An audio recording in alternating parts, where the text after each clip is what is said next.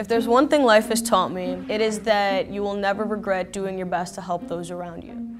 My name is Arlene Contreras. I'm a customer success representative here at Justworks. So this gentleman gets on the phone with me, trying to log into his account, trying to reset his password. And then I'm like, all right, may you please verify your date of birth?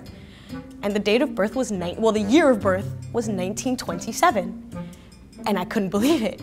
Um, I, I couldn't even count that far back. Um, and at that point, I just want to tell him, like, sir, you know, you, you, were born in 27, you won, you know, you're good. There wasn't much that I did on the phone call except keep him company. I didn't provide him a temporary password, I, I didn't provide him a reset link. He was just there, wanted to be with somebody on the phone, clicking through. So it wasn't a lengthy conversation. And at the end of it, he finally logs in, and all I hear him say is success. Success! Just scream success! And in my mind, all I can see is this gentleman sitting at his computer, hands in the air, just success! He was honestly the nicest person that I had spoken to in quite some time.